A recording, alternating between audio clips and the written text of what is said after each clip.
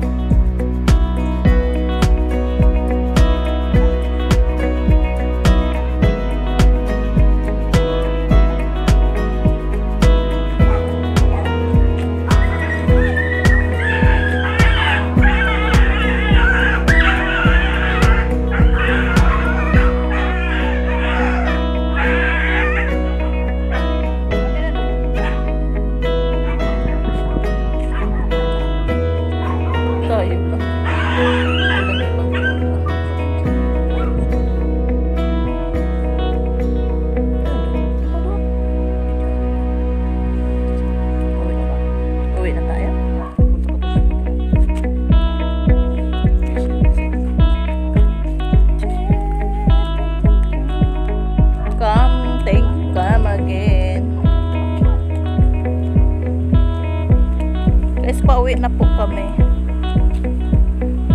So may magandang sag dito. Videoan mo ako doy.